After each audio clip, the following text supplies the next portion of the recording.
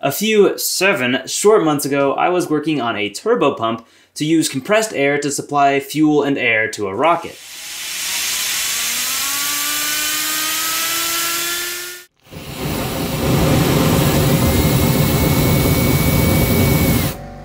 Now, the original plan for this video was to go back and optimize the film cooling method from another video, which used a thin film of fuel to protect a 2 liter whoosh rocket from the heat of combustion.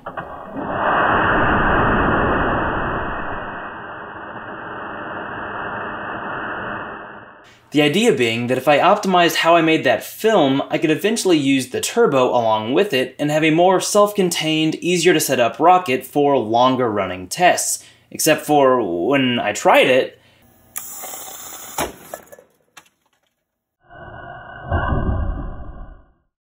yeah, that wasn't a very long test. So I'm going to switch gears a little bit to something hopefully less likely to blow up and scare my neighbors, and try to optimize the turbo, specifically the turbine.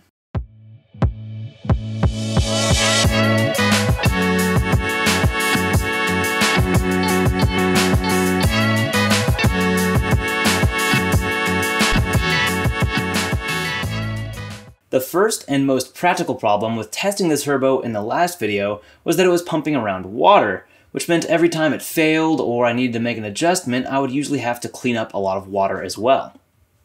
But this time, since I'm focusing on the turbine, I don't need the impeller or the water or the complexities that come along with them. Instead, I can just use a propeller attached directly to the turbine and measure how much thrust is generated.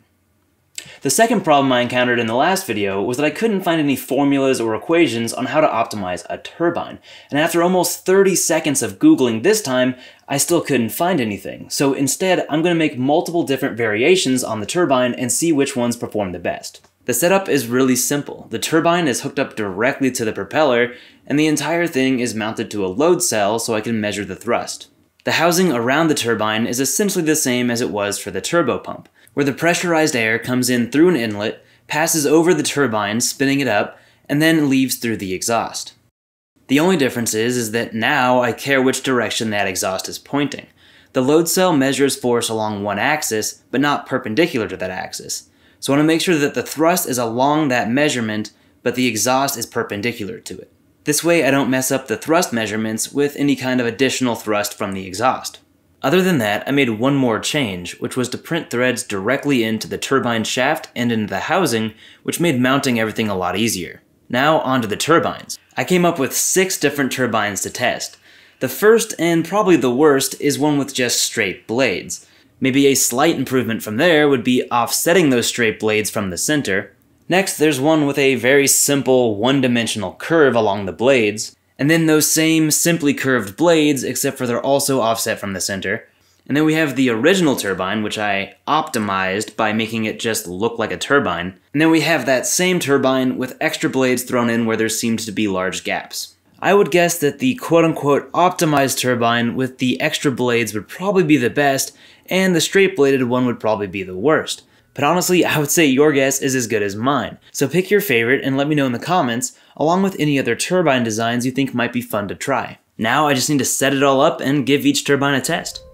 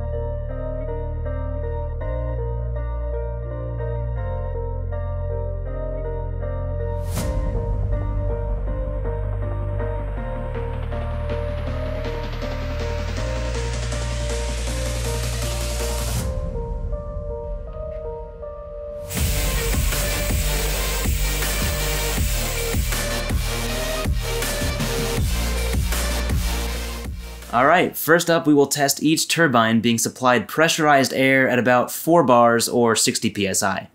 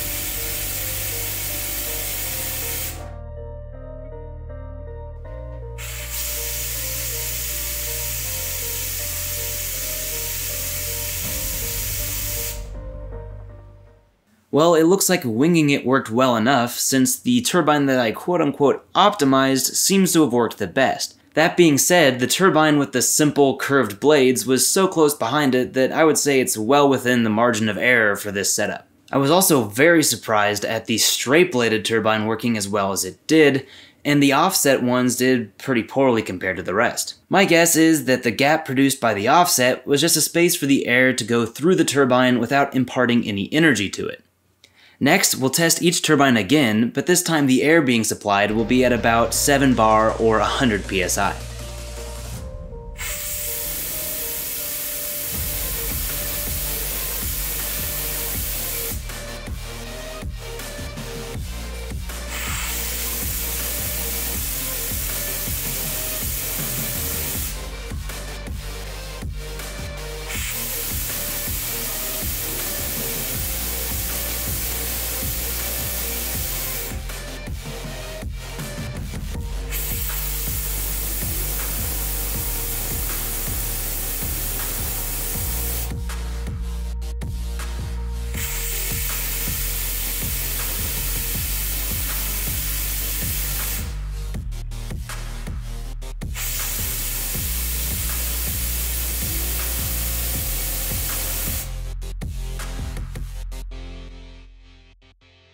This time, both versions of the quote-unquote optimized turbine performed the best, and once again, the turbine with the simple curved blades was not far behind, followed by the straight blades and both the offsets.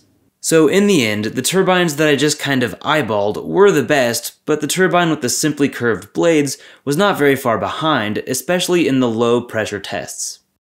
These turbines were really fun to design, and I like how they ended up turning out, so I made a cross-sectional version of both this test setup and the original turbo pump, and they'll be available with the other files linked in the description.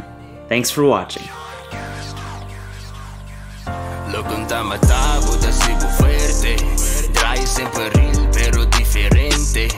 Vida hacia mí no quiere